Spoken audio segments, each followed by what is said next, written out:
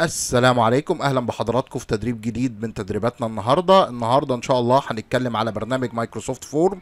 إزاي نقدر نستخدمه؟ إزاي نقدر نعمل quiz؟ إزاي نظبط ال settings بتاعته؟ وإزاي كمان نقدر نعمل له integration مع برنامج Microsoft Teams طيب في البداية كده عشان حضرتك تقدر تدخل على برنامج Microsoft Forms أو أي حاجة من اللي ليها علاقة بالإيميل الجامعي بتاعك حضرتك بتدخل على موقع اسمه portal. dot office dot com الموقع بتاع portal dot office dot com ده هو الموقع اللي بيجيب لحضرتك ال- ال portal بتاعك كل البرامج بتاعه ال Office بتاعتك. اللي من ضمنها مثلا إن حضرتك تقدر تنزل Office يعني لو جينا هنا مثلا أقدر إن أنا أنزل Office 365 Office كامل مجاني بيشتغل لغاية خمس أجهزة بالإيميل الجامعي بتاعي. أقدر أنزله من هنا. هتلاقي Forms هنا موجود في الجنب. فهتبدأ من برنامج Microsoft Forms تنزل إيه تبدأ تشغل البرنامج بتاعك. لو أنا جيت بقى في برنامج Microsoft Forms حابب إن أنا في الأول كده قبل ما أبدأ لو أنا عايز أشتغل على برنامج Microsoft Forms. فعندي هنا حاجتين. في عندي هنا by default كده بيعمل لي new quiz لو أنا عايز أعمل quiz وهنا لو عايز أعمل form الفرق ما بين الاثنين إن ال quiz عليه درجات. لكن ال form ده زي استبيان. يعني مثلا بعد ما أخلص تدريب هبعت لحضراتكم كده أسألكم رأيكم في التدريب. فده form معلوش درجات. فهعمله من هنا. فالاتنين نفس ال concept بالظبط. الفرق بس إن في ال quiz أنا بحدد درجة لكل سؤال وبحدد كمان إذا كان السؤال ده فين الإجابة الصح بتاعته. فخلينا نشوف أنواع الأسئلة اللي نقدر نحطها في ال quiz لو أنا جيت دوست هنا new quiz هيبدأ يفتح لي الشاشة بتاعه ال quiz لو أنا عايز أعمل quiz في عندي هنا بيبدأ لي كده by default untitled quiz untitled quiz أنا ممكن أسميه بالاسم اللي أنا عايزه وليكن مثلا هسميه quiz 1 quiz 2 واقدر كمان أحط عليه لوجو لو أنا عايز أحط مثلا لوجو الكلية لوجو الجامعة كلام زي كده أقدر أحط من هنا image وال image دهيت ممكن اللي أنا اعمل لها search على Bing Bing ده اللي هو ال search engine بتاع مايكروسوفت ممكن اخدها من ال OneDrive ال OneDrive ده ال cloud storage تخزين سحابي كأنه hard disk كده موجود على server Microsoft أو اللي أنا اعمل upload من الجهاز بتاعي. يعني أقدر ادور على الانترنت أقدر اخد من ال OneDrive أو ال hard disk ال online بتاعي واقدر كمان اخد اعمل upload من الكمبيوتر. لو هرفع كده مثلا وليكن إيه شعار الجامعة. زي ما إحنا شفنا إحنا عملنا هنا quiz 1 حطينا هنا شعار الجامعة أو شعار الكلية ونقدر نيجي نكتب هنا في ال description اللي إحنا عايزينه. يعني أقدر أحط مثلا اللي ده اختبار مادة كذا الوقت كذا قسم كذا أقدر اللي أنا أحط في ال description هنا زي ما أنا عايز. طيب بعد كده أبدأ أنشئ ال questions الأول أحط الأسئلة. فعندي هنا add new طبعا هنا بيديني suggestions لو أنا عندي مثلا اختبارات قديمة قبل كده أو أسئلة قديمة ما كتبتها طبعا الشخابيط دي كانت حاجات عملتها في تدريبات قبل كده فعشان كده أنا ما بكتبش أسئلة. عشان كده طلع شخابيط. بس هو بمنتهى البساطة هو هيجيب لك هنا إيه؟ هيجيب لك الأسئلة زي أسئلة أنت كنت عملتها في امتحانات قبل كده. فتقدر تاخد من هنا recommended أو بمنتهى البساطة هتدوس هنا على ال multiple choice فال multiple choice هيجيب لحضرتك ال multiple choice ال multiple choice ده حضرتك تقدر تعمل عليه اختبار MSQ أو اختبار true false فخلينا كده لو أنا هعمل MSQ فهكتب هنا راس سؤال. طبعا أنا بكتب شخابيط معايا ده راس سؤال. وبعد كده حضرتك هتكتب السؤال الأول الاختيار الأول الاختيار الثاني طيب لو بعد كده عايز تحط اختيارات تانية هتحط add options فتقدر تزود الاختبار الثالث الاختيار الثالث تقدر كمان تزود الاختيار الرابع. فبمنتهى البساطة حضرتك عملت MCQ كده من أربع أسئلة. راس سؤال عملت ال- الأربع اختيارات. حضرتك بتيجي تعلم من هنا على الإجابة الصحيحة. يعني ظاهر كده عند حضرتك أدي كده لو وقفت جنب أي اختيار هتقدر تدوس هنا فكده يعلم ده ال correct answer يبقى كده الاختيار التاني هو ده ال correct answer إيه تاني كمان تقدر تختاره؟ السؤال ده عليه كام point يعني مثلا حضرتك بتدي سؤال لو عايز كل الأسئلة تبقى زي بعضها فبتكتب 1 point وبيدي كل الأسئلة 1 point بيدي كل الأسئلة 1 point لو حضرتك بقى عايز تخلي سؤال مميز بدرجتين بثلاثه بأي حاجة تقدر بمنتهى البساطة تغير ال number of points من هنا هل السؤال ده بيحمل multiple answer يعني الطالب يقدر يختار أكتر من إجابة؟ لو الكلام ده مظبوط حضرتك تقدر تعلم على الإجابة دي فكده الطالب هيقدر يختار أكتر من إجابة. هل السؤال ده required يعني هل ده سؤال إجباري؟ لازم الطالب يجاوب عنه ولا لأ؟ فده كله حضرتك تقدر تعلم عليه فيعلم على السؤال ده إذا كان required ولا لأ. طيب فهنا ده required ولا لأ؟ أقدر إن أنا أفتحه وأقفله. إذا كان multiple answer وأقدر من هنا كمان اللي أنا أعمل حاجة اسمها shuffle options shuffle options ده بمنتهى البساطة لما حضرتك السؤال ده يتعرض قدام الطالب مش ال- الإجابات ما بتظهرش بنفس الترتيب. يعني كل ما حضرتك بتشغل الامتحان كل ما طالب يفتح الامتحان بيحصل shuffling لل options فالإجابة الصح بتبقى إيه مرة C مرة D مرة. هو ما بيفرقش معاك الكلام ده لأن حضرتك معلم له على الإجابة الصحيحة. فمن هنا shuffle options ولو حضرتك عندك اختيارات كتير يعني مثلا ممكن ما تكونش في امتحان ممكن تكون form بسأل الطالب أنت في كلية إيه فمثلا عندي 20 كلية فبدل ما يظهروا ال 20 كلية ورا بعض بالطريقة دي ممكن أعملها drop down ف drop down ده هيظهر هيظهر للطالب ليستة الليستة دي يختار منها.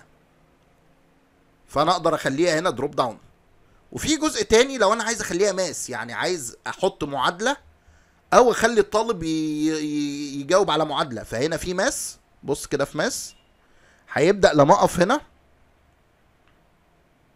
يجيب لي هنا حاجات ممكن اللي أنا استخدمها في المعادلات. log آه، حاجة تبع زي الأس الجذور آه، بعض الرموز الرياضية. فالكلام ده برضو أقدر اللي أنا استخدمه وأنا بكتب المعادلة بتاعتي لو أنا اخترت ال option بتاع math. وفي option تاني اسمه subtitle subtitle ده أنا ممكن أحط مثلا hint هنا للطالب أو أحط له آه، بقية السؤال أو أحط له معلومة يستفيد بيها في السؤال. فدي حاجة كده زي subtitle أقدر احطه تحت السؤال في بعض الأحيان بقى بس دي ما بتبقاش في ال quiz بس ممكن اللي أنا أستغلها لو أنا عايز ممكن أعمل add branching add branching ده بمعنى اللي لو الطالب اختار إجابة معينة ما ينقلوش على السؤال اللي بعده ينقله على سؤال تاني. يعني أقول له لو اختار الإجابة دي يوديه السؤال ده لو اختار الإجابة دي يودوه السؤال التاني لو اختار دي ينزله على طول على السؤال اللي بعده اختار دي يقفل الامتحان في وشه. فهنا عندي هنا add branching أقدر إن أنا أحط branching وأبدأ أقول له لما يختار السؤال ده يروح فين؟ هل يروح end of form أو السؤال اللي بعده؟ طبعا عشان لسه ما حطيناش أسئلة تانية فلسه الأسئلة مش ظاهرة. فده موجود وممكن اللي أنا أستخدمه أكتر في الاستبيانات عن ال عن الامتحان. يعني ممكن في الاستبيان أسأل ال ال الشخص اللي أنا بعمله استبيان ده أنت طالب جامعة ولا عضو هيئة تدريس ولا موظف ولو اختار طالب يقوم نقله على الأسئلة بتاعه الطالب لو اختار عضو هيئة تدريس أنقله على أسئلة عضو هيئة تدريس لو اختار مثلا موظف أسئلة أنقله على أسئلة موظف. فأقدر أعمل الكلام ده بسهولة عن طريق ال branching طيب برضو من الحاجات الظريفة اللي موجودة هنا اللي أنا ممكن أحط feedback على السؤال. يعني دلوقتي أنا هنفترض اللي ده مش امتحان بجد اللي ده تدريب. فأنا في التدريب عايز أقول للطالب أسأله على حاجة ولو جاوب غلط أعرفه الغلطة فين. فأقدر أعمل الكلام ده عن طريق إن أنا أحط feedback لو أنا وقفت هنا فهنا مثلا هيقول لي ال message اللي هتظهر للطالب اللي هيدوس على السؤال ده. فأقدر أكتب له هنا سؤال إيه كده مثلا إيه أكتب له أي رسالة. فكده معناه إن الطالب لما يجي يختار السؤال ده هيظهر له الرسالة دي. فمثلا لو هو ده الصح هقول له شكرا أو congratulations أو أي حاجة زي كده. لو اختار ده أقول له لأ ده غلط عشان كذا. فاقدر اعمل الكلام ده بسهولة. وبرضو أقدر ان أنا أحط صورة أو أحط فيديو. يعني في بعض الاحيان ممكن ان أنا مثلا أحط صورة ادوس هنا image واجي مثلا في السؤال واجي برضو هنا اعمل upload لصورة فتظهر الصورة عندي كجزء من اجزاء السؤال. فكده هيجي السؤال جنبه الصورة ادي السؤال ادي الصورة اللي بسأل عليها. عايز أسأل على فيديو. أقدر ألغي هنا الصورة واقدر ان أنا أحط فيديو بيحط فيديو من اليوتيوب. يعني أنا دوست لو دوست هنا على فيديو أقدر أحط إيه, إيه مايكروسوفت ستريم أو يوتيوب. فأروح اليوتيوب أحط أي فيديو وأبدأ ان أنا أحط الفيديو ده في السؤال. فده برضو حاجة ظريفة. أنا عن نفسي كنت بستخدمها في مثلا بدي زي تدريبات كده للطلاب أو task اللي أنا بجيب له فيديو بيتكلم على حاجة معينة بيشرح حاجة معينة في المقرر وبحط له عليه أسئلة بسأله على الفيديو ده. يعني أنا مش بسأله في اللي ذاكره لا أنا بسأله في اللي شافه دلوقتي في الفيديو. فبمنتهى البساطة كده لو أنا دخلت على اليوتيوب وجيت هنا مثلا إيه فتحت حاجة وليكن جالاكسي مش عارف إيه ده وجيت هنا أخدت الرابط بتاع الي- اليوتيوب بتاع الفي- الفيديو ده وجيت هنا عملت له paste add فكده حط لي الفيديو في راس سؤال. فبقى السؤال أهو قدامي في فيديو. طالب يشغل الفيديو على اليوتيوب معايا؟ ويتفرج على الفيديو على اليوتيوب. ويجاوب على السؤال اللي أنا سأله على الفيديو. أدي السؤال أدي الفيديو أدي الإجابات اللي الطالب هيختار منها. فكل دي option ظريفة موجودة في مايكروسوفت فورمز اللي أنا ممكن أحط سؤال جاي من صورة جاي من فيديو جاي من أي حاجة زي ما حضراتكم شايفين. أنا بقى عندي السؤال أهوت. بعد ما جيت عملت سؤال عايز أعمل السؤال تاني. فبدل ما امشي اختار كل ال settings دي بدل ما أجي هنا أقول له 1 point واجي من هنا اقوم معلم على required واجي من هنا ادوس على ال shuffle لو ما كنتش دايس عليه واعمل كل الكلام ده تاني لا أنا أقدر اعمل copy للسؤال. ادوس هنا على copy فكده بقى عندي نسخة كاملة تانية من السؤال. النسخة التانية دي أنا هغير راس السؤال هغير الاختيارات وحاجة أغير الإجابة الصح. بقى كده السؤال خلص. يبقى أنا بذلت مجهود اللي أنا أظبط ال settings في أول سؤال ونفس ال settings أنا مكمل عليها كل مرة. فكده هغير بس الاختيارات وأكمل وأعمل copy وبالطريقة ديت هقدر إن أنا أخلص الامتحان أو أعمل الامتحان بسهولة. فده كده النوع الأول من نوع الأسئلة اللي هو ال MCQ لو أنا عايز أعمل بقى true false هاجي هنا أحط new add new وأقول له choice برضو وهكتب راس السؤال اللي أنا عايزه. وهاجي هنا في الاختيارات وأكتب true مجرد ما هكتب true هيعمل لي تلقائي كده اللي ال option التاني يكون false هيديني suggestion ليه. فكده بقى عندي true false هعلم على السؤال الإجابة مثلا اللي أنا عايزها بس أخلي بالي اللي هنا مفيش shuffle لأن لو عملت shuffle في true false هيعمل لي لخبطة مع الطلبة لأن بمنتهى البساطه مرة هيحط له true فوق ومرة هيحط له ال false فوق. فده هيعمل لي مشكلة مع الطلبة ممكن الطلبة تتلخبط لأنه متعود إن ال true هي اللي فوق. فبس هتأكد في true false اللي أنا ما عنديش shuffle لكن ال MCQ هعمل ال shuffle عادي. عايز أكرر بقى true false ده تاني برضو copy هيعمل لي هنا إيه true false هغير رأس السؤال وأغير الإجابة الصح وأكمل الأسئلة بتاعتي. يبقى أنا كده قدرت اللي أنا أعمل زي ما أنتم شايفين هو بيجمع ال points أنا عملت خمس أسئلة دلوقتي فأخدوا خمسة points فده الأسئلة ال MCQ true false طب لو أنا عايز أحط نوع تاني من الأسئلة أقدر ان أنا أحط text أقدر اخلي الطالب يعمل زي complete ب short text طيب اعمل الكلام ده إزاي؟ هكتب هنا السؤال اللي أنا عايزه. وطبعا هحط هنا النقط اللي المفروض الطالب يكتب عليها. وبعد كده بكمل السؤال. فكده الطالب المفروض يكتب إجابة. فبيظهر له كده تحت السؤال مكان يدخل فيه الإجابة. عشان السيستم يصحح ده إلكتروني محتاج إن أنا أدخل له الإجابة الصح. مشكلة النوع ده من الأسئلة اللي بيبقى سنسيتيف قوي. يعني مثلا أنا لازم أحط نفسي مكان الطالب لأن الطالب ما عندوش اختيارات محدودة ده عنده اختيارات غير محدودة. طالب ممكن يكتب أي إجابة هو عايزها. فلازم ال system يكون عنده flexibility اللي هو يفهم الإجابة. فلازم أحط مكان نفسي مكان الطالب وأحاول أخمن كل الإجابات الصح اللي ممكن الطالب يكتبها. وليكن مثلا إن الإجابة دي إجابتها 2 2 فطالب ممكن أجي أحط هنا answer وأكتب 2 ففي طالب ممكن يكتبها كده. لكن في طالب تاني ممكن يستذكى شوية ويكتبها كده. فلازم كده أنا أعرف له الإجابة دي صح والإجابة دي صح. لو الطالب كتب اتنين بالطريقة دي أو بالطريقة دي يبقوا الإجابتين صح. وطبعا ده ما يمنعش إن أنا لازم أمشي عيني بعد ما التصحيح يخلص وراجع. ممكن يكون الطالب كتب حاجة بطريقة تانية. بتعبر عن نفس المعنى وخصوصا أنا منقي رقم أنا ممكن يكون الإجابة بتاعته مثلا increase فهو يقول لك raise مثلا مكان increase أو يقول لك آه أي حاجة تانية. فهوري حضرتك إزاي بعد ما الامتحان يخلص تقدر تراجع الإجابات بالنسبة للأسئلة اللي زي دي وتقدر اللي أنت إيه تشوف الإجابات الصح بتاعت الطلبة. وبرضه مش معنى اللي حضرتك عملت MCQ و short answer لا حضرتك كمان تقدر تعمل essay لو أنا عايز أعمل سؤال essay أقدر أحط هنا add new واجي أقول له text بس أجي اعلم هنا على long text على long answer اعلم هنا على long answer فبقى سؤال essay طبعا سؤال ال essay بيبقى ليه درجات أعلى مثلا. أحط له هنا وليكن خمس درجات. سؤال ال essay الطالب هيقدر يجاوبه إلكتروني لكن حضرتك هتضطر إن أنت تصححه بنفسك.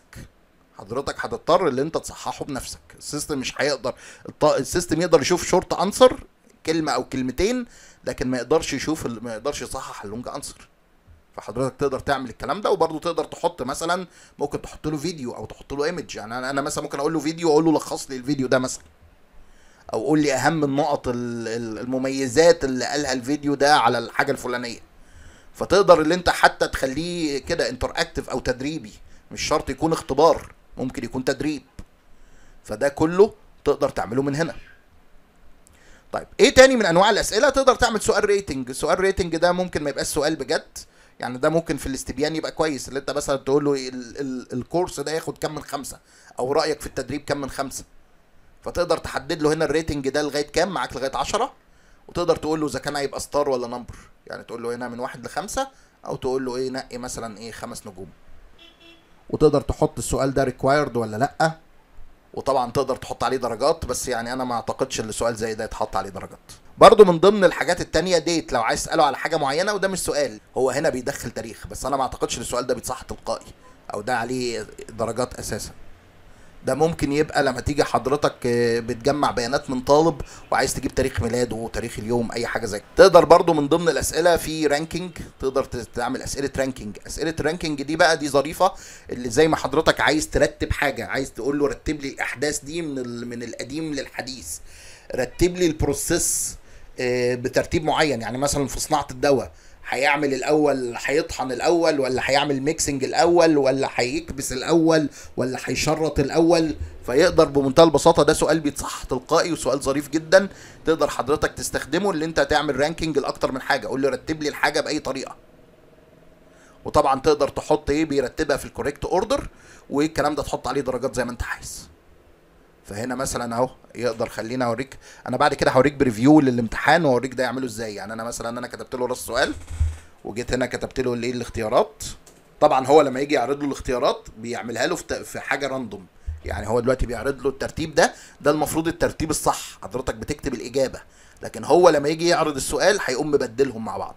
برضو غير السؤال ده في نوع تاني من الأسئلة اللي حضرتك ممكن تعمل file upload أو في حاجة اسمها Likert بس Likert ده برضو مش هينفع. سؤال ده برضو ده ممكن في الاستبيان يعني تقول له ال statement الأولانية رأيك فيها عامل إزاي؟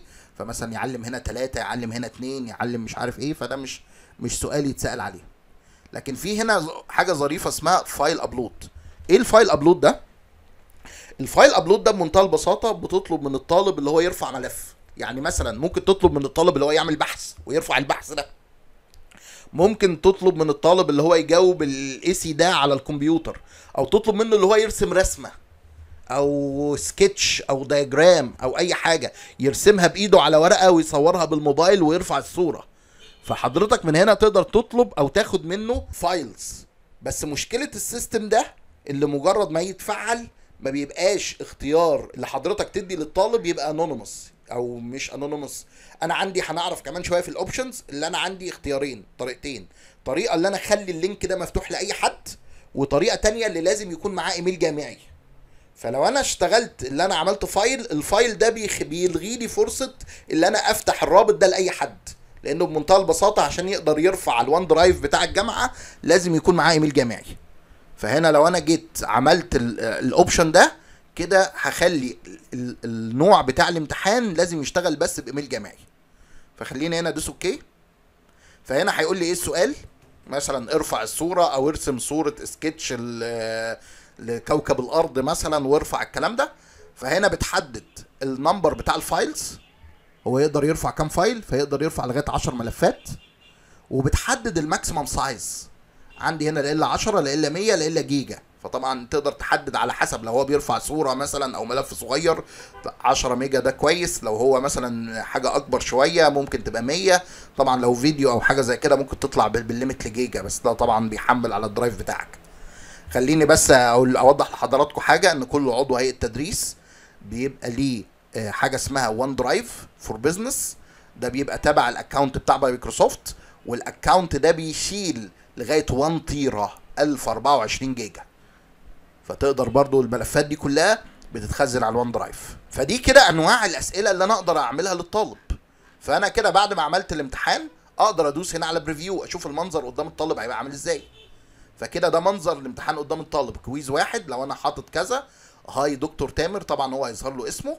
ويعلم له الأجابات دي required فيبدأ الطالب يحل. ده هنا يختار الاختيار الأول هنا الاختيار الثاني هنا مش عارف إيه هنا true هنا false طيب والسؤال ده ال short answer هيكتب هنا اتنين مثلا. وهيجي هنا ال- ال- ال long answer هيكتب ال- الإجابة بقى بتاعته بالطريقة اللي هو عايزها. بس خلي بالنا هنا مفيش format يعني هو هيبقى text pure كده. هنا السؤال بتاع ال rating ده ممكن ينقي ال rate اللي هو عايزه. هنا مثلا السؤال ده بتاع ال date هيختار ال date اللي هو عايزه. ده سؤال الترتيب. سؤال الترتيب زي ما انت شايف كده بي- بيعلم اللي ده يطلع فوق وده يبقى آخر حاجة تحت فبيحرك الحاجة بالطريقة اللي هو ممكن يحركها كده. فيرتب ال order بالطريقة الظريفة فده أعتقد برضو ده جنب ال MCQ ده يعتبر برضو وسيلة كويسة. هنا سؤال ال- ال Likert ده بس ده ما يعتبرش سؤال تسأل عليه. وهنا ال upload هنا هيقول له upload file فهيقوم منقي ال file اللي هو عايزه يرفعه. وهنا هيقول له اللي انت مسموح لك اللي انت ترفع file واحد ال limit بتاعه 10 ميجا. الأنواع بتاعته Word Excel PowerPoint PDF image video audio يعني عندك كل الأنواع تقريبا. وتقدر كمان في ال settings تختار الأنواع. يعني لو أنا رجعت كده back وجيت رجعت لل settings بتاع السؤال ده أقدر من هنا أقول له أنا عايز file type معين. فأقول له اللي يرفعه لازم يكون ملف Word فأدوس هنا على Word يبقى كده الطالب هيظهر له اللي هو يقدر يرفع بس ملف Word أو PowerPoint أو PDF فأقدر اللي أنا أحدد له لو رجعت تاني لل preview هنا هلاقي هنا مكتوب إيه؟ مكتوب ان ال file number 1 single file ال size بتاعه 10 ميجا وال allowed type Word فكده يبقى عارف ال file اللي يقدر يرفعه. وأقدر برضه أشوف شكل الامتحان ده على الموبايل. لو الطالب فاتح من الموبايل هيجيب لي النسخة بتاعة الموبايل. اللي أنا أقدر أشوف الطالب الامتحان ده هيظهر قدامه إزاي. فده كله أقدر اشوفه من ال preview بتاعه. واقدر كمان اغير ال theme. ال theme ده المنظر اللي قدامي ده. فانا أقدر من هنا مثلا أحط حاجة بالمنظر ده. أو حاجة كده مدية انطباع امتحان. أو حاجة زي كده كان كأنه قاعد في قاعة أو حاجة زي كده. فاقدر اديله من السيم ده انطباع الامتحان. واقدر اخليه لون ثابت أو شكل أو ارفع صورة أنا عايزها. أقدر من هنا أقول له أنا عايز اخد صورة. upload image أو أنقي color معين درجة معينة لو أنا عارف ال hex code بتاعها. فأقدر من هنا أختار image وأنقي ال image اللي أنا عايزها. فكل ده هنا موجود جوه ال options بتاعتي. زي ما حضراتكم شايفين أنا هنا عملت quiz ال quiz ده عليه 36 درجة. الأسئلة كلها بتظهر مع بعض. في بعض الأحيان ما بكونش عايز الأسئلة تظهر مع بعض. ليه؟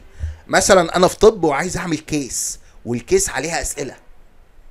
فعايز ال case تظهر للطالب ومعاها الأسئلة بتاعتها وده يبقى ال part الأول. وبعد كده يقلب الصفحة اللي بعدها يلاقي ال case التانية والاسئله بتاعتها. أو فيديو والأسئلة بتاعته ويقلب يجيب له الفيديو اللي بعده والأسئلة بتاعته. فعشان أعمل حاجة زي كده لما أجي أعمل add new في هنا option اسمه section ال section ده لما أجي أعمله يبقى أنا كده بقى عندي أكتر من section بقى كل اللي فوق ده اسمه section 1 واقدر أجي من section 1 مثلا أعمل له إيه؟ أقدر أعمل له هنا duplicate section فاكرر نفس الأسئلة دي تاني. أقدر اللي أنا أعمل له ريموف أقدر أرفعه لفوق أو أنا أرفعه لتحت أو أعمل branching فهنا مثلا section 1 وعندي هنا بقى section 2 طيب section 2 ده أقدر اللي أنا أسميه بالاسم اللي أنا عايزه. وليكن مثلا هسميه case 2 وأقدر بقى أحط الأسئلة بتاعة case 2 وأقدر أحط من هنا صورة أو فيديو واقدر أجي بقى أنا أحط إيه أحط السؤال واحط لي مثلا إيه ال choice واختار الإجابات اللي على ال case 2 طيب ولو أنا عايز أحط ال case نفسها لو أنا عايز أحط ال case نفسها ممكن إن أنا أكتب ال case ك text جوه ال case 2 يعني أقف هنا على case 2 كده وأحط هنا description لل case. بس أنا ليا تجربة شخصية مع الكلام ده حصلت معايا في امتحان اللي الطلبة لما جم فتحوا من الموبايل ما ظهر لهمش ال case. فكان عندهم مشكلة اللي هم ما قدروش يقروا ال case ولقوا الأسئلة بس قدامهم. طيب الحل التاني اللي أنا ممكن أحط سؤال وليكن مثلا سؤال text. وأكتب هنا ال case بتاعتي. وأشيل العلامة بتاعت required من عليه وما اديلوش درجات. يبقى أنا كده بمنتهى البساطة ده سؤال مش إجباري فال system لما يجي الطالب ما يحلوش مش هيديله عليه درجة. مش حي... مش هيقول له اللي أنت لازم تحله لأن هو أساسا مش سؤال. وتقدر ما تحطش عليه point فمش هيتحسب في الدرجات. فبالطريقة ديت حضرتك تقدر تكتب ال case اللي انت عايزها من غير أي مشاكل. أو تخلي ترفع ده مثلا خلي بالنا هنا ممكن أرفع السؤال وأنزله. فأنا هنا برفعه ال level اللي قبله فكده ال case. وده هنا ال case نفسها ومعلهاش point وبعد كده هيبدأ السؤال الأول اللي عليه ال point طيب لما أجي بقى أعمل preview للكلام ده بيبان إزاي؟ لما أدوس هنا على preview أدي بيجيب لي هنا ده ال case الأولانية بأسئلتها. بعد ما أخلص بيجيب لي هنا next أبدأ أنقل لل case الثانية طبعا هو مش هيخليني يسمح لي ب next لأن بمنتهى البساطة الأسئلة ما اتجاوبتش فلازم أجاوب ال case الأولانية قبل ما أنقل لل case الثانية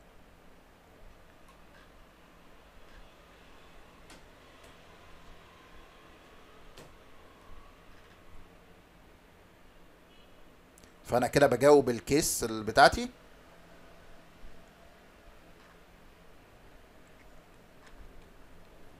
upload file ده. طيب فأنا كده إيه جاوبت ال case بتاعتي أو خلاص كده وقمت دايس next قام جايب لي بقى ال case التانية هي المفروض اللي ده السؤال. طبعا وهنا بعد كده إيه الاختيار بتاعي وبعد كده بعمل submit فبيبدأ إيه يديني الإجابات بتاعتي. فبيقول لي هنا your response has been submitted. وممكن بقى كمان تشوف ال result وده option نقدر نقفله أو نقدر نفتحه. لو أنا دوست view result بيقوم معلم لي بقى. السؤال ده صح؟ السؤال ده غلط. السؤال ده غلط وإجابته الصح كذا. فده option أقدر اللي أنا أفعله للطلبة لو في تدريب. بس طبعا لو أنا عندي امتحان ما أقدرش أفعل ال- ال option ده للطلبة لأن بمنتهى البساطة أول طالب هيخلص هيبقى عارف الإجابات كلها الصح والغلط. فطبعا ده هيعمل لي مشكلة. فأنا بمنتهى البساطة ده option أهوت أقدر ان أنا إيه أشوف بيه الإجابات. أو أوري بيه الإجابات للطلبة وأوري لحضراتكم إزاي الكلام ده أقدر أغيره. فبالطريقة دي اهو ظهر لي هنا response ظهر لي هنا اسم الشخص اللي عمل ال response وهنتكلم على ال response ده كمان شوية. لو أنا جيت أفكر في حاجة تانية جيت دلوقتي أفكر في ال settings إزاي أظبط ال settings بتاع الاختبار. أنا دلوقتي عملت اختبار حطيت الأسئلة آه، حطيت الإجابات الصحيحة رجعت ال review رجعت كل حاجة ناقص بقى اللي أنا أظبط ال settings ال settings ديت لو أنا جيت دوست على الثلاث نقط دول ودوست على settings settings دي فيها أول option اللي هو show result automatically ده زي ما عملت دلوقتي submit ودوست ظهر لي الإجابات الصح والدرجة بتاعتي. لو أنا بقى عايز ألغيه هدوس من هنا والغيه. يبقى كده الطالب بعد ما يعمل submission مش هيقدر يشوف الدرجة بتاعته. خلاص. أنا بعد كده أقدر أعلنها له. فهنا قدرت إن أنا أعمل ال quiz قدرت إن أنا أتحكم في ال settings بتاعته اللي هو الطالب ما يشوفش الدرجة بتاعته. هنا بقى مين اللي يقدر يجاوب على ال quiz؟ هل هو anyone و anyone هنا مش هيتداس عليها لأن زي ما قلت لكم زي ما قلت لحضراتكم لو أنا اخترت سؤال رفع ملفات anyone دي مش هتشتغل. لأن مش أي حد ليه ال permission اللي هو يرفع ملفات على ال drive بتاعي. فكده anyone دي مش شغالة لأن أنا حاطط سؤال الايه سؤال الرفع اللي هو سؤال ال question ده. ال question ده. لو جيت لغيت السؤال ده هلاقي دي تشتغل معايا. طيب هنا برضو لو أنا بقى بعمل امتحان للكلية أو للطلبة أفضل إن الطالب يخش يمتحن مرة واحدة. فأنا بمنتهى البساطة هنا أقول له only people in my organization can respond. only people in my organization خلينا نبقى معترفين لحاجه organization في جامعة قناة السويس يعني كلية. فهنا people in my organization قصده الكلية بتاعتي اللي معاه إيميل جامعي على نفس الكلية بتاعتي. فهنا بيسجل الاسم بتاعه واقدر كمان اعمل له limitation one response per person يعني أنا دلوقتي الطالب ده يخش الامتحان ده مرة واحدة. once اللي هو عمل submit ما يقدرش يخش تاني. خلاص خلص الموضوع على كده. لو ده تدريب وعايز الطالب يخش أكتر من مرة أشيل العلامة ديت ويقدر الطالب يخش أكتر من مرة. أجي هنا بقى لل options بتاعت ال response في عندي هنا accept response accept response يعني ال form ده مفتوح. أي طالب مع ال link لو داس عليه يقبل. لو أنا كنت عايز الاختبار ده مش مفتوح. يعني أو أنا مثلا عامل الاختبار ده مدة معينة وقفلته فهنا أقدر إن أنا أشيل العلامة بتاعته وأقدر أكتب رسالة أقول حاليا اللي تم الانتهاء من وقت الاختبار آه، رجاء المحاولة أو آه، حظ سعيد في الاختبار القادم. فأقدر بمنتهى البساطة أحط message ال message دي لو حد معاه ال link وداس عليها والاختبار ده مغلق يقول له مثلا الاختبار ده هيبقى مغلق وهيتفتح في اليوم الفلاني. فتقدر بمنتهى البساطة كده تحط message لو انت الاختبار ما... وفي option هنا تقدر تعمل start date و end date ده option ظريف اللي انت ممكن تقول له الامتحان ده هيبدأ يوم مثلا يوم الحد الجاي الساعة 12 ونص لغاية يوم الحد الجاي الساعة واحدة. يبقى كده الامتحان ده نص ساعة. فتقدر من هنا تحدد بداية الامتحان ونهاية الامتحان بالوقت. وطبعا تقدر تكتب لو عايز تخليها مثلا إيه و13 وتقدر تخليها و5 أهي تقدر تتحكم في الوقت زي ما أنت عايز. فتقدر تحدد تاريخ بداية وتاريخ نهاية. برضو في هنا option اللي أنا أعمل shuffle لل question shuffle لل question يعني بمنتهى البساطة ببدل ترتيب الأسئلة.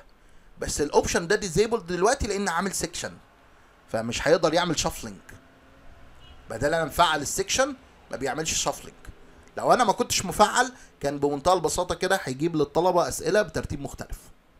لكن لو أنا مفعل ال section في حاجة اسمها show progress show progress bar ده بيعمل إيه؟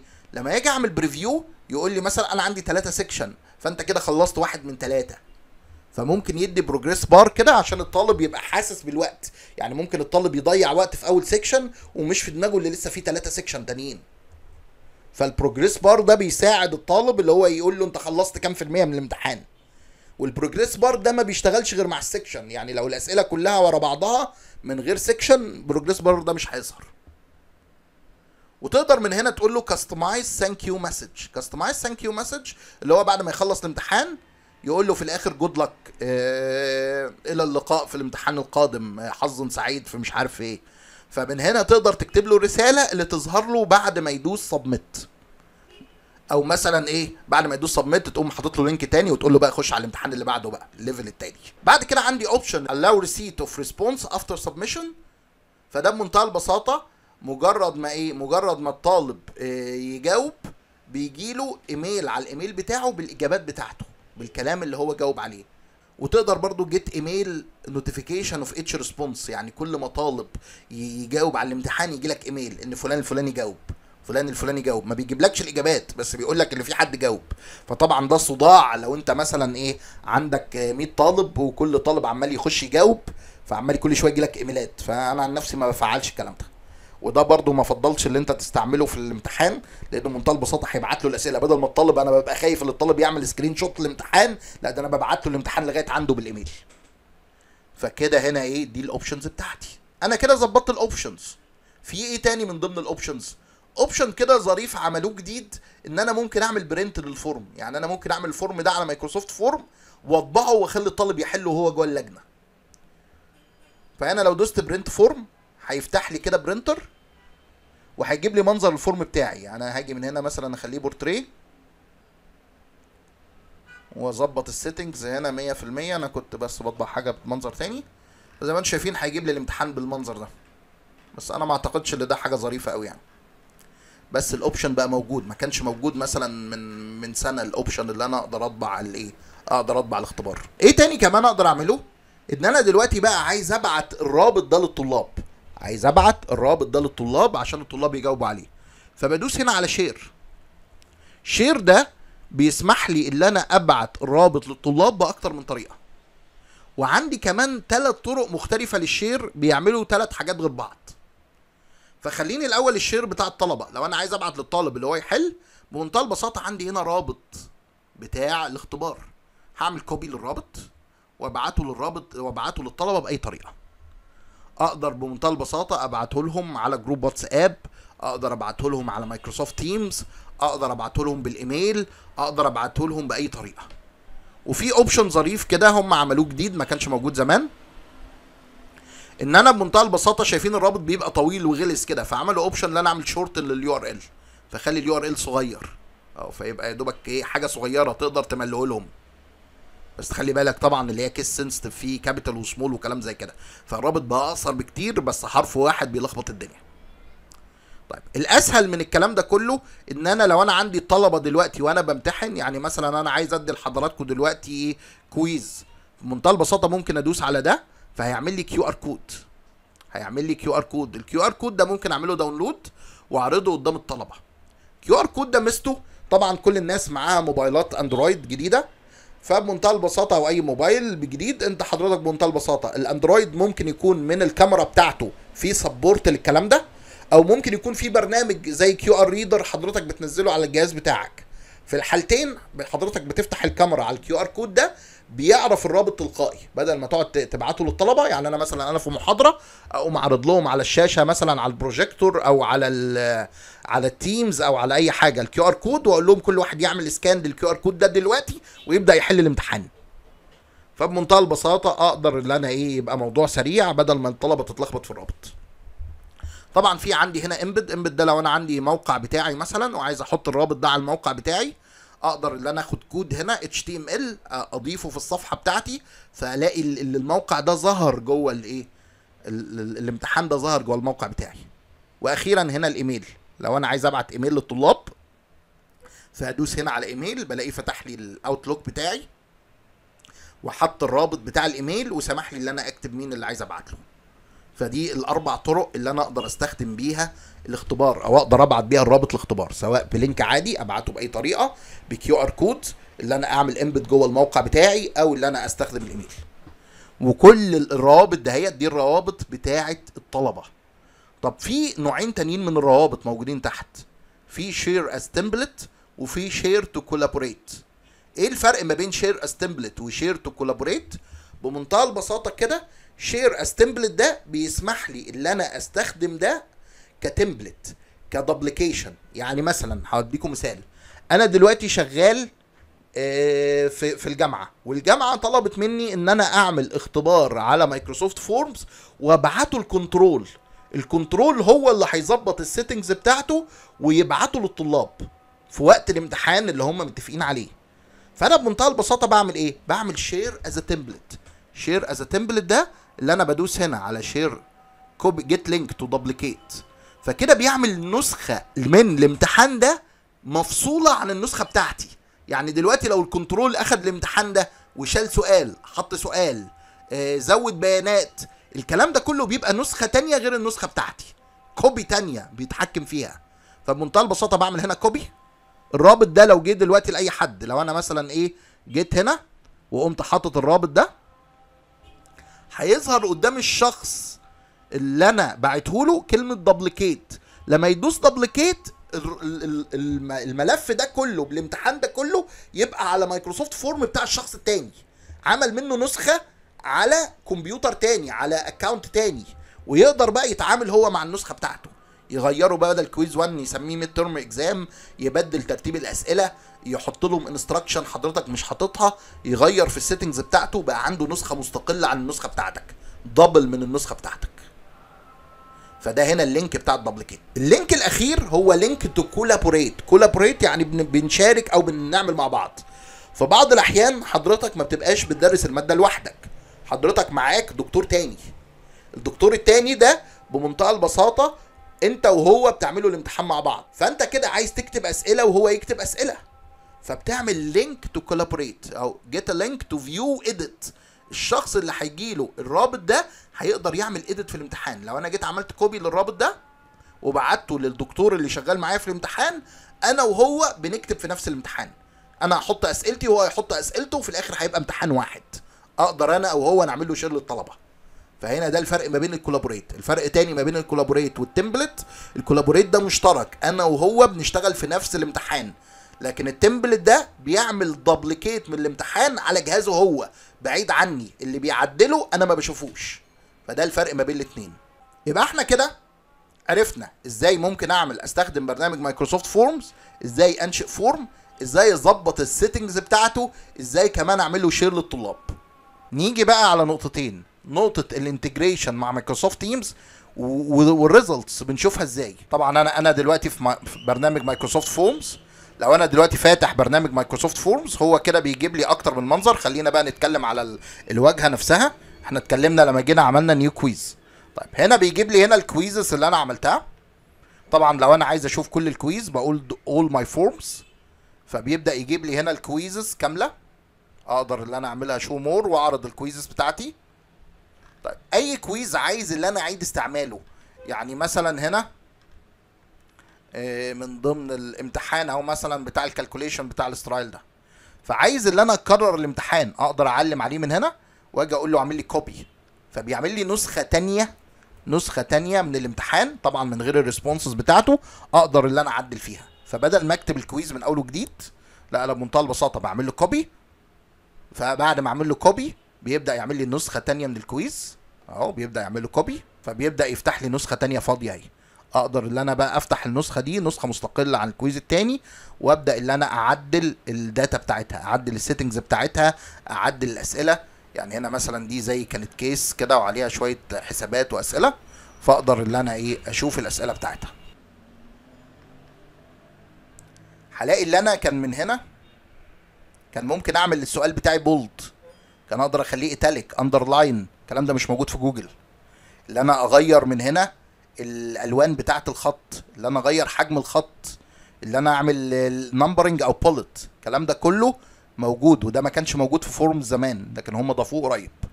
فهنا عندي لو أنا جيت علمت على اي حاجة كده أقدر ان أنا اغير التنسيق بتاعها. الكلام ده موجود في Microsoft Forms ومش موجود في Google Forms الحاجة اللي بعد كده برضو اللي أنا بيبقى عندي groups على Microsoft Teams وكل group أو كل team بيبقى ليه ال quizzes بتاعته أو ال- ال- ال files بتاعته. فهنا بتبقى موجودة برضو ومتخزنة على ال system بتاعي. خليني كده أرجع ثانية واحدة. لو رجعت هنا في all my forms تاني ورجعت للشاشة الرئيسية بتاعت Microsoft Forms هلاقي فيه هنا تحت عندي my groups groups دي جايب لي بالظبط كده ال teams الموجودة. وأنا وكل team جايب لي ال ال ال الحاجة اللي موجودة جواه يعني مثلا ده Pharm D practical hospital ده اتعمل له 12 form هنا اتعمل له فورمين هنا ثلاثة فمثلا لو دوست على هنا على group هيفتح لي ال forms اللي اتعملت جوه ال group دي كده مثلا كانت حاجات أنا بعملها للطلاب. فخلينا بقى نشوف ال responses بتاعتها ممكن أشوفها إزاي. يعني مثلا ده quiz أهو أنا عامله للطلبة. شارك فيه 92 طالب. فجيت دوست هنا على quiz هيبدأ يفتح لي هنا ال quiz بتاعي زي ما أنتم حضراتكم شايفين. وأقدر من هنا بقى أشوف ال response ده الجزء اللي عايز أوريه لحضراتكم. لو أنا جيت دلوقتي هنا في response هيجيب لي هنا في 92 response ال average بتاع ال score بتاعهم كان كام؟ طبعا هنا ده ال- ال score بتاعه. لو أنا رجعت كده لل question ده ده من 7 point ال average بتاعه 6 و7 من 10 تقريبا أهو. وهنا closed خلاص مش فعال. أقدر من هنا اللي أنا أشوف إجابة كل سؤال. يعني مثلا ده السؤال الأول. دي الإجابات اللي أنا اخترتها. دي الإجابة الصح. وأقدر أشوف كده اللي فيه 88 واحد من ال 92 جاوبوها صح. فهنا شايف الغالبية العظمى جاوبوا السؤال صح وهنا نسب الناس اللي جاوبوا إجابات تانية. أقدر برضه أشوف الكلام ده السؤال ده بالكامل اتجاوب صح السؤال ده بالكامل صح السؤال ده فيه واحد مثلا جاوب إجابة غلط فأقدر من هنا السؤال ده مثلا 80 واحد جاوبوه صح و12 واحد جاوبوه غلط فأقدر من هنا أعرف وأقيم السؤال. أقدر أعرف واشوف كده احصائية عن كل سؤال لوحده. واقدر كمان اللي أنا أشوف اجابة طالب طالب. يعني لو أنا دوست هنا review answers هيفتح لي ورقة الإجابة بتاعه الطالب فمثلا دي إيه نشأت أدي الإجابات بتاعتها. هي مثلا إيه نشأت دي جاوبت كله صح تقريبا. أقدر بمنتهى البساطة إن أنا أغير بقى أفتح أي حد من الطلبة هنا. مثلا وليكن ياسمين دي. ياسمين دي برضو جايبة سبعة من سبعة. خلينا نشوف واحد جايب غلط أي حد مجاوب غلط. أو حد كان مجاوب خمسة أو في مثلا ده جايب ستة فده مثلا أهو عنده الإجابات أهي وجاوب السؤال ده غلط. وطبعا أنا عندي هنا شايف الطالب ده أخد درجة واحد من واحد. لو أنا لأي سبب من الأسباب شايف إن الإجابة دي صح أو الإجابة دي كانت تلخبط وعايز أدي الطالبة دي سؤال الدرجة بتاعتها أقدر إن أنا أعدل الدرجة من هنا. فلو عايز لأي سبب من الأسباب إن أنا أعدل الدرجة أقدر أعدل الدرجة من هنا وهتتحسب الدرجة الجديدة. فمن هنا أقدر أشوف السؤال. أقدر كمان لو دوست هنا أقدر ألغي ال response ده لو الطالب مثلا دخل عمل response يعني في طالب مثلا يقول لك أنا دخلت وبعد كده دوست submit لأي سبب أو علمت على حاجات غلط و... وال system طبعا بما إنه عمل submit مرة واحدة مش هيسمح له اللي هو يعمل submit تاني. فأنا ممكن أخش ألغي له ال response اللي هو عمله أول مرة. فكده يبقى الطالب بالنسبة لل system ما دخلش قبل كده. لما يجي يدخل تاني ال system هيسمح له اللي هو يدخل. وممكن برضو اللي أنا أعمل print لل response ممكن اللي أنا أعمل print لل response لو ال response ده عايز أطبعه مثلا طالب عامل تظلم وبيقول لك أنا إجابتي ده أنا مجاوب صح بمنتهى البساطه تقدر تعمل print لل response وتقدر اللي أنت إيه؟ تقدر اللي أنت توري إجابتك للطالب. طيب واخلي بالي هنا مثلا اللي الدرجه خلي بالي هنا مكتوب لها auto graded يعني ال system اللي صلحها. زي ما قلت لحضرتك حضرتك ممكن تعمل edit يعني ممكن تديله هنا درجة أو تديله هنا واحد بس لو اديته واحد مش هيبقى تحت auto graded لا هتبقى حضرتك كتبتها. فال system برضو هيوضح للناس إذا كانت الدرجة دي متصححة تلقائي ولا حضرتك اللي عدلتها. فده برضو هنا ممكن يبان معايا. هنا ده برضو ممكن يبان معايا. طيب أنا كده شفت ال- الحاجة بالبيبول يعني أنا قدرت إن أنا أشوف الأسئلة أقدر أجيب ورقة أي طالب لو أي مشكلة أنا عايز أراجعها مع الطالب وأقدر كمان أجيبها بالسؤال أجيب بالكويتشن يعني هنا مثلا وليكن السؤال ده إيه 88 واحد جاوبوه بالطريقة ديت وهنا ده الاثنين جاوبوه بطريقة تانية. فأنا ممكن أقول اللي جاوب 30 ملي تمشي برضه أو 27 تمشي برضه. بفرض لو في سؤال كده أنا مثلا طلبة اشتكوا ان السؤال ده يلخبط والسؤال اللي يلخبط ده أنا شايف اللي فيه أغلب الطلبة مجاوبينه إجابة تانية فأقدر من هنا أغير بلك أجي من هنا مثلا أقول أحط هنا واحد فاللي جايب كمان اللي جايب كمان اللي مختار الإجابة بتاعت 27 واحد من عشرة كمان هياخد الدرجة النهائية. وطبعا الطريقة دي اللي أقدر أصحح بيها الاسي بقى يعني لما أجي أصحح الاسي هلاقي هنا السؤال وألاقي إجابات الطلبة فهقدر أقرأ إجابة طالب طالب وأقدر إن أنا إيه أحط الدرجة يدوي عليها. يبقى دي الحتة لو أنا عايز أصحح سؤال اسي هعرض الإجابة بالسؤال ولما أعرض الإجابة من السؤال هيظهر لي كل إجابات الطلبة اللي جاوبوها. طبعا الاسي هيجيب لي مش هيجيب لي إجابات مجمعة هيجيب لي إجابة فردية لكل طالب فأقدر إن أنا آخد إجابة إجابة أجاوب إيه أديها الدرجة المناسبة أو لو ده كان مثلا سؤال ال- البحث اللي الطالب هيرفعه وكل طالب هيحط إيه هيحط هيرفع ملف معين فحضرتك تقدر تفتح الملفات وتقدر تدي الدرجات بالطريقة دي. فكده بالطريقة دي أقدر بقى أبدل أشوف بالسؤال. زي ما أنتم شايفين السؤال ده متجاوب كله صح مثلا. السؤال ده اللي كان عليه debate بتاع 480 و600 فكده أقدر إن أنا إيه أغير أصحح بالسؤال. وأقدر برضو إن أنا أطبع ال responses دي لو أنا عايز. فهنا دي الطريقة اللي أنا أقدر أشوف بيها الإجابات زي ما حضراتكم شايفين سواء طريقة عامة أو اللي أنا آجي من ال review answers وآجي أختار بالسؤال أو بالشخص. طيب الحاجة اللي بعد كده برضو اللي أنا ممكن أعملها ان أنا ممكن ابعت للطلبة الدرجات بتاعتها. يعني زي ما قلت لحضرتك كان في system كده في ال settings لو أنا جيت هنا في ال settings من ضمن ال settings اللي أنا لو معلم على show result automatically كده الطلبة مجرد ما يخلص الامتحان هتجيله النتيجة بتاعته. وطبعا قلنا ده هيبقى ليه مشكلة لأن بمنتهى البساطة ممكن الطالب آه، مجرد ما أي طالب يخلص هيعرف كل الإجابات الصح وينقلها لزمايله بأي طريقة. فالحل التاني اللي أنا بقفل الكلام ده لكن بعد ما أخلص الامتحان وكل الطلبة حلت باجي هنا أقول له post scores فهيبدأ هنا يجيب لي هنا إيه مثلا طبعا الدرجات دي أنا أعلنتها قبل كده بس بمنتهى البساطة بيجيب لي هنا لستة الأسماء كل واحد جايب درجة قد إيه وبيديني هنا اللي أنا أعلم جنبهم طبعا عشان هي posted خلاص فهم عارفين الدرجات لكن أنا بمنتهى البساطة بيديني هنا زي check mark كده أعلم عليهم أو أعمل select all وبعد كده أقول له post scores فيبدأ بقى واحد واحد يتبع يبقى عنده الدرجة بتاعته تظهر له ويبقى يظهر له إيه الأسئلة الصح وإيه الأسئلة الغلط. فالكلام ده كله أقدر اللي أنا أشوفه من هنا. طبعا أقدر إن أنا أرتب حتى الدرجات لو أنا عايز أشوف الدرجات مثلا مين جايب من الكبير للصغير أو من الصغير للكبير يبقى عندي مثلا زي كشف درجات كده أقدر إن أنا استعمله الحاجة اللي بعد كده برضو اللي أنا ممكن آخد ال data دي في Excel فممكن أعمل هنا open in Excel فبيبدأ يعمل لي يعمل لي export لل data بالأسئلة بالإجابات بالدرجات جوه Excel جوه Excel. بس أنا عندي هنا مشكلة طبعا اللي الكلام ده هيعمله لي quiz quiz فهنا هيبقى عندي مشكلة اللي أنا مش هيبقى لو أنا بعمل quiz كل فترة معينة وعايز أجيب درجات الطلبة كلها مرة واحدة مش هقدر أشوف درجاتهم مرة واحدة. Microsoft Teams ال integration بتاعه اللي مع ال Forms بيحل لي المشكلة دي. إن أنا لو عملت ال form ده عن طريق Microsoft Team بيخزن الدرجات وأقدر ان أنا أشوف الدرجات مرة واحدة زي ما أوري حضراتكم من شوية. فهنا ده كله أقدر ان أنا أشوفه بالطريقة ديت. طيب يبقى إحنا كده اتكلمنا على Microsoft Forms اتكلمنا عن ال settings بتاعته اتكلمنا عن الامتحان اتكلمنا على النتائج اتكلمنا عن كل ما يخصه. دلوقتي بقى هنيجي في جزء ال integration لو أنا عايز أعمل له integration مع Microsoft Teams خلينا أقول لكم ال integration دي ليها أكتر من طريقة. فخلينا كده الأول نشوف نفتح برنامج Microsoft Teams طيب لو أنا هنا فاتح برنامج Microsoft Teams وعايز اللي أنا اعمل integration مع النظام بتاع Microsoft Teams مع Microsoft Forms اولا لازم يكون ال form بتاعي لازم يكون الف... ال... ال... ال team بتاعي يكون ال type بتاعه class عشان أقدر أعمل ال integration دي.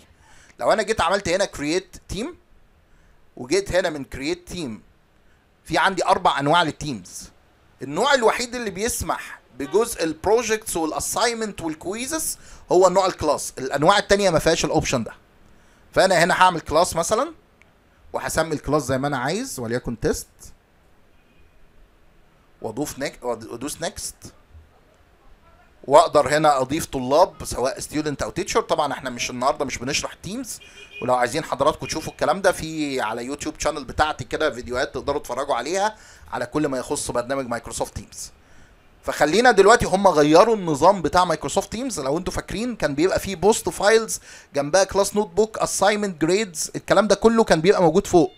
في النظام الجديد اللي هم عملوه بقى موجود على الجنب. الكلام ده لسه ما بقالوش أسبوعين ثلاثة طيب فهنا بقى عندي في حاجة اسمها assignment ال assignment دي أقدر منها أعمل integration ما بين Microsoft Teams وما بين Microsoft Forms فأقدر من هنا أقول له get started واجي أقول له هنا create واقول له أنا عايز quiz أقول له أنا عايز quiz فساعتها بيبدأ يفتح لي برنامج Microsoft Forms بتاعي. ويجيب لي ال forms كلها اللي معمولة. يعني quiz 1 اللي أنا عامله النهارده أو today دي كلها quizzes كانت معمولة قبل كده. فاختار ال quiz اللي أنا عايزه. وأعمل next فهيبدأ يسحب ال quiz ده جوه ال group بتاع ال- ال- اللي اتعمل لل team بتاعي. يعني زي ما حضراتكم شايفين لما جيت فتحت من شوية كده فاكرين هنا لما كنت واقف في الشاشة دي؟ كان بيبقى عندي هنا my groups my groups دي اللي فيها اللي فيها ال teams اللي موجودة جوه ال group. طيب أنا عندي دلوقتي لما أجي أعمل team ال team ده بيعمل له group ويحط فيه يعمل copy من ال form اللي أنا اخترته جوه ال group ويقدر بعد كده أتحكم فيه من جوه Microsoft Forms فخلينا نرجع كده. أنا عندي دلوقتي لا إلا أختار ال quiz من هنا أو بمنتهى البساطة أنا ممكن أنشئ ال quiz من جوه ال team. أدوس هنا new quiz فهيقوم يفتح لي برنامج Microsoft Forms جوه برنامج مايكروسوفت تيمز وأبدأ أعمل كل الحاجات اللي وريتها لكم من شوية. أقدر أعملها من هنا. وبعد كده أدوس done فيحفظ ده جوه ال system بتاعي. طبعا اللي أنا أعمل جوه مايكروسوفت فورم جوه مايكروسوفت تيمز ده جزء جديد برضو ما كانش موجود. كان الأول بيفتح لي form على ال website دلوقتي ال integration الجديد بقى بيفتحه جوه البرنامج ال team نفسه. طيب فخليني آخد ال- ال form هدوس هنا create وأقول quiz بعد كده هختار ال quiz اللي أنا لسه عامله النهارده quiz 1 وأقول next هو كده بيعمل copy شايفين الخط اللي اتحرك بسرعة كده؟ هو بمنتهى البساطة عمل copy لل quiz ده جوه برنامج مايكروسوفت تيمز وسمح لي بقى اللي أنا أسميه. ممكن أسميه quiz 1 أسميه quiz 2 أسميه midterm أسميه أي سؤال. وأقدر أحط instructions لو أنا عايز للطلبة. وأقدر كمان اللي أنا أعمل assignment سواء لكل سواء لكل ال students أو أنقي طالب بعينه. طبعا أنا للأسف عشان ال team ده ما فيهوش طلبة فانتم مش شايفين الكلام ده. بس بمنتهى البساطة لو رحت في team فيه طلبة زي ما هوريكم كمان شوية أقدر اللي أنا من هنا أختار الطلبة يعني أقول ال quiz ده هيختاروا هيمتحن فيه أحمد ومحمد ويسري فأقدر أختار من هنا الطلبة. وفي option جديد عملوه اللي أنا بس ده طبعا مش عارف بيشتغل مع ال quiz ولا بيشتغل مع ال assignment اللي أنا ممكن أعمل assignment ل group. يعني أقول ده group واحد اللي فيه أحمد ومحمد وحسين هيعملوا ال task دي. وبناء عليه الدرجة هتبقى درجة مشتركة. الكلام ده بقى option جديد اتعمل في مايكروسوفت تيمز بعد كده هنا بختار بداية الامتحان. باجي هنا أعمل edit لل settings لما أجي اعمل edit لل settings في عندي. لو أنا دوست دلوقتي assign الامتحان ده هيبدأ من دلوقتي. لكن أنا ممكن اكون عايز الامتحان ده يبدأ بكرة الساعة 9 بالليل.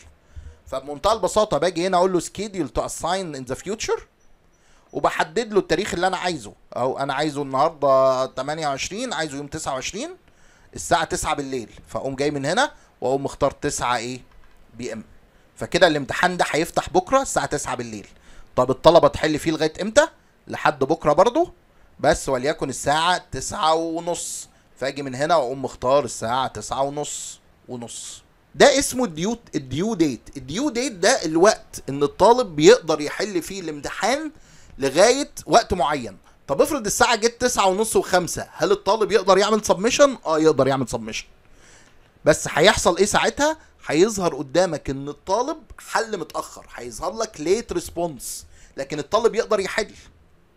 طيب ففي option تالت اسمه close date close date ده بقى اللي حضرتك بتحدد فيه الوقت اللي بعده الطالب ما يقدرش يسلم الامتحان. يعني أنا حليت الامتحان يبدأ الساعة 9 لغاية 9 ونص لكن على الوضع ده الطالب يقدر يعمل سبمشن الساعة 10 طب لو جيت هنا من الكلوز ديت وقلت له لغاية الساعة 9 و40 دقيقة يبقى أنا كده اديته 10 دقائق سماح كمان إن الطالب لو هو ميعاده 9 ونص بس اتأخر لأي سبب لغاية 49 دقيقة يقدر يحل. لكن أنا عامل ال close date 49 دقيقة.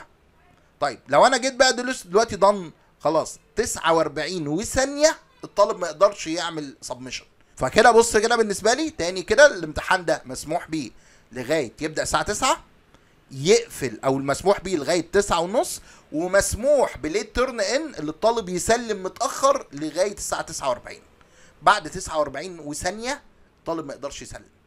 فهدوس هنا done فكده أنا ظبطت ال settings بتاعتي. وبعد كده هعمل schedule طيب من ضمن ال settings برضو الجديدة إن أنا ممكن أعمل إيه؟ add assignment to calendar أجي هنا من هنا وأقول له خلي ال assignment ده يظهر لل student في ال calendar بتاعته. أو يظهر لل student وليا. أو يظهر لل students وكل ال teachers اللي معايا. فال option ده بيخلي الكلام ده يظهر في ال calendar بتاع الطالب وبعد كده برضو عندي option اللي أنا أعمل post على أي channel لأن لما لو حد فيكم بيتعامل مع ال team ال team فيه أكتر من channels فالأساسي بتاعها جنرال لكن أنا ممكن أكون عامل channel channel مثلا لدكتور معين. فعايز ال assignment يظهر جوه ال channel بتاعته. فأقدر من هنا أختار ال channel اللي أنا عايزها. طبعا لو في أكتر من channel هنا ما عنديش غير جنرال فأقدر أختار ال- ال channel اللي أنا عايزها وأعمل إيه؟ وأخلي الإعلان ده يظهر جواها. وادوس هنا schedule هيبدأ كده يتخزن تلقائي ويظهر للطلبة في الميعاد اللي أنا اخترته. طيب خليني أوريكم حاجة كده كنا عارضينها للطلبة. لو أنا دلوقتي كده ببص على حاجة معمولة للطلبة أنا عندي هنا لو جيت هنا في assignment عندي وليكن هنا أدي امتحان أهوت فهقدر من هنا وقت ما الامتحان ده يتفتح أنا هقدر أشوف الطالب كل طالب عمل إيه. فشايف في عندك هنا turned in يعني جاوب على الامتحان. في بقى أنا سامح بوقت متأخر. فهنا ظاهر turned in 3 minute later late فهنا ده حل بعد الامتحان بعد الوقت اللي أنا سامح بيه بثلاث دقايق. ده حل إيه؟ بعدها بدقيقة. ده مثلا few seconds فطبعا أنا أنا بدي البراح ده بدي خمس دقايق أو عشر دقايق زيادة تحسبا لأي مشكلة تحصل عند الطالب وفي نفس الوقت ده ظاهر عندي في الإجابات. لو أنا عايز مثلا الطالب اللي نزل اللي نزل متأخر ده أعدل درجته بعد كده في ال system وانقصه مثلا درجة أو حاجة أو درجتين اللي هو سلم متأخر ده في إيدي. بس هنا بمنتهى البساطة بدي فرصة أطمن ان كل الطلاب عملوا turned in في الميعاد اللي إيه؟ اللي أنا عايزه. فأقدر أعرف الكلام ده من هنا. طبعا هنا بيديني بيديني هنا حالات الحالات دهيت منها turned in أو بمنتهى البساطة في بعض الأحيان بيبقى عندي كلمة not turned in not turned in ده اللي هو ما شافش الامتحان أو viewed ده ممكن يكون فتح الامتحان لكن ما جاوبش عليه. فيجي طالب يقول لك اصل النت ما اشتغلش عندي اصل ما يعرفش اللي فيه امتحان تيجي تبص الحاله بتاعته تلاقيها viewed viewed يعني شاف الامتحان فما فيش حاجة اسمها اللي هو ما, ما, كانش قادر يفتحه. تقدر تعلم على الدرجات بتاعت الطلبة وتعمل لها return لو أنا عملت ريتيرن بمنتهى البساطة كده الدرجات دي هتظهر للطلبة لأن أنا مش معلن الدرجات للطلبة فهتظهر هنا return فأقدر أعلن الدرجات للطلبة. أقدر كمان اللي أنا أشوف summary result summary results ده هيفتح لي Microsoft Form ويخليني أشوف ال ال النتيجة بتاعت الامتحان. الميزة بقى في جزء ال grades هنا لأن لو عملت أكتر من quiz لو أنا جيت هنا في ال returned أنا عملت مثلا هنا خمسة quizzes فخمسة quiz دول ودول ال return دول اللي الطلبة أعلنت ليهم الدرجات بتاعتهم أقدر لو أنا جيت هنا دوست في grades أقدر أشوف درجات الطلاب كلها في Excel واحد. بدل ما عمال أشوف كل quiz لوحده لا أقدر أشوف mark list وال mark list دهيت أقدر إن أنا أجمع منها الدرجات أهو دي quiz واحد quiz اتنين واشوف هنا الدرجات بتاعتي عاملة إزاي. واقدر في الآخر اخد الكلام ده في صورة Excel يبقى معايا Excel كل طالب ودرجاته إيه. وبعد كده أنا في ال Excel بقى اظبط المعادلة اخد average اخد اعلى درجة إيه ألغي quiz معين اعمل اللي أنا عايزه بس هيبقى كل الدرجات الطلبة في حتة واحدة. لو أنا كنت شغال مع Microsoft Form لوحده من غير Microsoft Teams أنا كده كل امتحان هيبقى Excel منفصل واقعد أنا اجمعهم مع بعض. لكن هنا بمنتهى البساطة بيطلع لي Excel إيه؟ منفصل وكامل. مش ده بس ال integration الوحيد اللي ممكن أعمله مع ال Form مع Microsoft Teams. لا أنا ممكن أعمل integration جوه ال meeting اللي أنا موجود فيه. يعني مثلا وأنا دلوقتي بشرح محاضرة قدام حضراتكم عايز أسألكم على حاجة معينة. فأقدر أعمل quiz جوه المحاضرة عن طريق integration جديد معمول اللي أنا أدوس هنا على الثلاث نقط الموجودين. وفي هنا حاجة اسمها add an app add an app ده بيسمح لي إن أنا أسطب Microsoft Form جوه ال meeting. فادوس هنا add an app فهيظهر لي هنا إيه؟ هيظهر لي هنا لسته بال- بالبرامج اللي أنا أقدر أنزلها اللي من ضمنها برنامج Microsoft Forms فادوس هنا على Forms فهيبدأ يسطب ال Forms جوه ال meeting بتاعي. وادوس هنا add كده أنا بضيف Form جوه البرنامج وهيظهر له tab هنا جوه البرنامج وأنا شغال. طيب فهدوس هنا save هيبدأ زي ما حضراتكم شايفين في tab ة جديدة ظهرت هنا صغيرة كده أو icon صغيرة بتاعت Microsoft Form. أقدر وأنا شغال جوه الامتحان أو جوه المحاضرة إن أنا آجي أعمل quiz أو أعمل poll يعني مثلا أنا ممكن أكون دلوقتي عايز أسألكم على سؤال آه، معين. أو إحنا في اجتماع مجلس قسم مثلا وعايزين ناخد تصويت أو مجلس كلية. فبمنتهى البساطة ممكن أعمل create new poll وأقول له أنا عايز multiple choice poll أو multiple choice quiz يعني أنا أقدر quiz عليه درجات وأقدر أعمل poll من غير درجات. بما إننا شغالين دلوقتي في ال quiz فخلينا نعمل quiz أهو. فهاجي هنا أكتب راس سؤال. وأجي أحط الاختيارات. طبعا أقدر من هنا أحط option زي ما أنا عايز. بحط option زي ما أنا عايز. أدي الاربعه options وبعد كده بعلم على الإجابة الصح. أدي الإجابة الصح. يبقى أنا كده عملت ال- الاختبار عملت السؤال طبعا ده بيبقى سؤال واحد مش مش أسئلة كتير. فعايز مثلا أنا ممكن أكون مع معد الكلام ده بطريقة مسبقة يعني أنا قبل التيم قبل ما أبدأ معاكم المحاضرة ممكن أكون مجهز خمس أسئلة. وكل ما أشرح جزء في المحاضرة بتاعتي أبدأ أعرض أفعل سؤال منهم. فيظهر قدام الطلبة وأشوف الطلبة هي مستوعبة الكلام اللي أنا بقوله ده ولا لأ. هتجاوب صح ولا غلط. فهنا في option show result automatically after voting وده طبعا أنا ما انصحش بحاجة زي كده أو لو أنت عايز تخليه للتدريب هو الطالب يقدر بعد ما يعلم بعد ما يعلم يجي له إذا كان الإجابة دي صح ولا غلط. فأنت ممكن إيه تلغيها بحيث الطالب ما يبقاش عارف مين الصح يعني مين السؤال ومين الصح لغاية لما تحله معاهم. فهنا بمنتهى البساطة أنا لغيت الكلام ده وعملت هنا save ظهر عندي هنا في قائمة ال poll السؤال بتاعي بالإجابات بتاعته. السؤال ده لسه مش ظاهر للطلبة. أنا ممكن أجي هنا من سؤال وأجي هنا أضيف سؤال تاني. أجي من هنا أقول له create new وأعمل السؤال التاني اللي هسأله في وقت معين. والكلام ده ممكن أعمله كمان قبل المحاضرة ما تبدأ. أو هنا السؤال التاني. طيب فأنا كده عملت الأربع أسئلة والإجابة المرة دي هي الإجابة الأخيرة. وعملت هنا إيه؟ هنا هنخليها share result عشان نشوف الفرق. فكده أنا عندي سؤال 2 3 10 أنا already عامل لهم إعداد قبل ما المحاضرة تبدأ. وبعد كده وأنا جوه المحاضرة عايز اسأل الطلبة بقى على الجزء الأولاني أشوف تحصيلهم للجزء اللي أنا شرحته. وجينا دلوقتي في ميعاد الجزء الأول فبمنتهى البساطة باجي هنا ادوس launch. فهيظهر دلوقتي قدام حضراتكم كلكم السؤال بتاعي. بص كده هيظهر لك بوب اب كده يجيب لك السؤال يقول لك أدي السؤال وأدي الإجابات. فأنت تختار الإجابة اللي أنت عايزها وتعمل سبميت طبعا هيظهر الكلام ده قدام حضراتكم. فمن هنا أقدر أشوف الإجابات الصح. لكن قدام حضراتكم هنا حضرتك شايف السؤال لكن مش شايف الإجابة الصح. حضرتك هيظهر لك في الشات السؤال؟ هيظهر لك الإجابة اللي انت اخترتها لكن مش هيظهر لك الإجابات الصح. لكن أنا ك instructor أنا هنا شايف السؤال وشايف مين جاوب عليه صح ومين جاوب عليه غلط. فأقدر إن أنا أشوف أسئلة الطلاب. في تسعة دلوقتي عملوا response أهوت والإجابات بتاعتي متوزعة ما بين الصح والغلط. بعد ما خلاص وقت السؤال خلص أقدر من هنا مثلا أجي أقول له إيه؟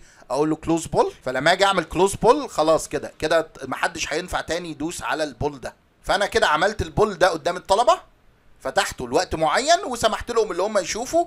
لو أنا عايز أعرض الإجابات قدامهم ممكن اللي أنا بمنتهى البساطة أعمل share ال screen بتاعتي وأوريهم الإجابات بتاعته الصح فين والغلط فين.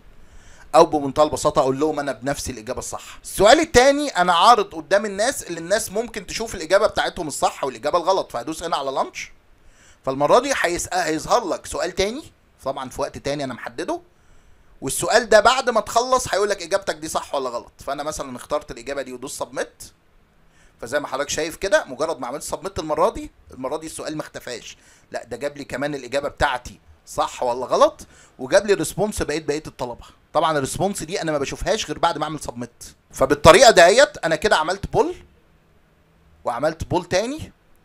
وطبعا أنا أقدر آخد ال result دي لو أنا عايز آخدها بالأسماء أقدر أعمل export result فيطلع لي في صورة Excel وطبعا هنا السؤال هنا موجود أقدر أعمل باك تو question واشوفه لو أنا عايز أو أشوف ال result أو في الآخر اللي أنا أعمل إيه؟ أعمل close poll أو حتى في الآخر اللي أنا أقدر أعمل delete لل poll ده بكل ال data اللي موجودة فيه.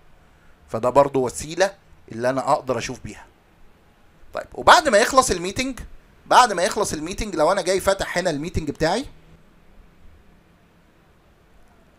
هلاقي اللي أنا في عندي tab ة هنا. لو أنا جيت عملت edit لل settings بتاعة ال meeting هلاقي في tab ة هنا اسمها polls ال tab ة بتاعت polls دي بتسمح لي إن أنا أشوف النتائج اللي متخزنة بتاعة ال meeting وتسمح لي برضو إن أنا أعمل creation ل poll قبل ما نبدأ.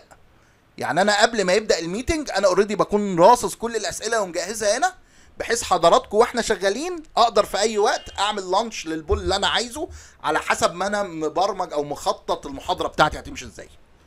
فده كده آخر integration ممكن يعمله برنامج Microsoft Forms مع Microsoft Teams بكده انتهى تدريبنا النهارده. حابب أشكر حضراتكم على حسن الاستماع. السلام عليكم.